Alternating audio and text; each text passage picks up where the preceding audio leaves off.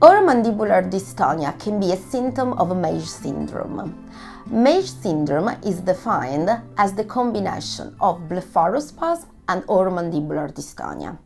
Essentially, blepharospasm is dystonia affecting the upper face. The upper face is involved with eye closure, people have excessive blinking, increased frequency of eye blinking, most of the time, these blinking movements can be sustained and they provoke functional blindness to people with blepharospasm.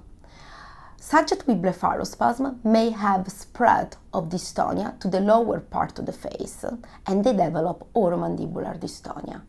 When there is a combination of blepharospasm and oromandibular dystonia, we define those patients as having Meige syndrome. For Meige syndrome, we use the same treatment as for blepharospasm and oromandibular dystonia. The first line medication is botulinum toxin, which is extremely effective in treating blepharospasm symptoms.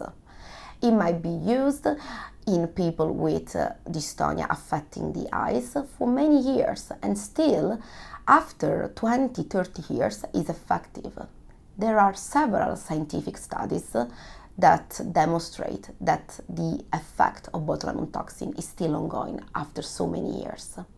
For oromandibular dystonia, botulinum toxin can be used, but sometimes it's challenging to treat dystonia, which affects the lower part of the face, especially when the tongue is involved. In these cases, we also use oral medication, such as anticholinergic drugs or tetrabenazine. This patient may have a better effect when botulinum toxin is used with oral medication. In very severe case of Meige syndrome, deep brain stimulation can be used. This is an extremely rare condition, an extremely rare decision that we take to use DBS for Meige syndrome. And often those are people that have generalized dystonia, which means dystonia affecting all the body, with more expression and more prominent symptoms in the face. In that case, deep brain stimulation can be considered. The prevalence of Meige syndrome is not clear.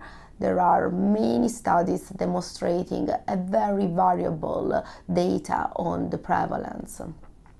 It's around 100 people per million, but the prevalence is underestimated in few studies.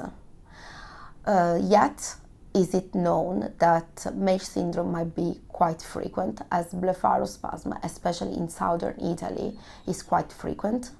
And with aging, many people with blepharospasm may have some symptoms also in the lower part of the face, having Meige syndrome.